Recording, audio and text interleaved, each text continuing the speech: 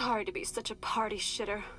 Trying to make funeral plans and help you escape at the same time. My late husband's cronies will be coming after you. Just take a monster off the old pier, you'll survive the fall. Oh, and pour one out for David.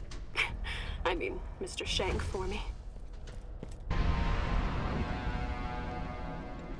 I'm not going to waste time. There are two objectives that must be fulfilled There are new missions destroy the available on the T-Bone Junction one, bounty board. Construct a detonator that will send a signal to the bombs stored in the Atlas Depot, activating their detonation sequence. It will require my knowledge of their computer networks to gather the pieces and construct it. So that is my mission.